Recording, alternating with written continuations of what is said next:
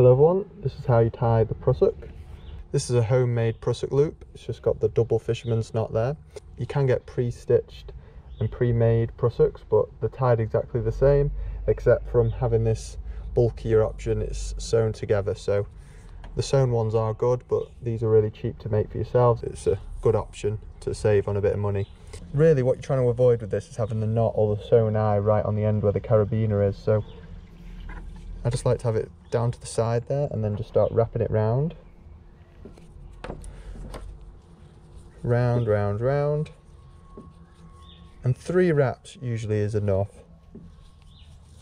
And then pull it and dress it just so the knot or the sewn eye isn't on the center there. That's a traditional prusik knot.